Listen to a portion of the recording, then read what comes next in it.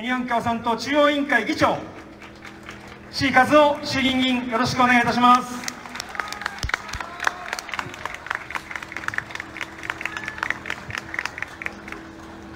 皆さんこんにちは。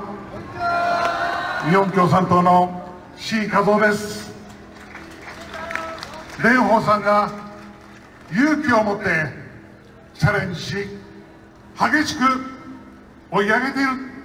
何としても知事に押し上げていただきたいと矢も盾もたまらず駆けつけてまいりました。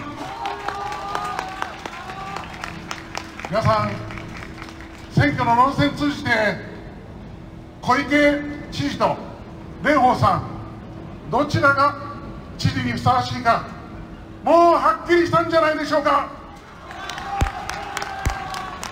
まず政治姿勢の問題です。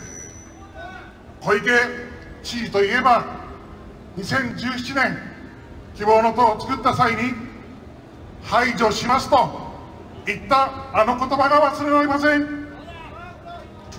蓮舫さんは私は支援者を排除することはいたしませんときっぱりおっしゃってる。皆さん東京の知事というのは1400万都民みんなのリーダーですよ。特定の政治的主張を踏み絵にして排除を公言するような人ではなくて全ての都民の皆さんの声を聞き全ての都民の皆さんを包み込んで一緒になって前進する蓮舫さんのような方が知事にふさわしいんじゃないでしょうか。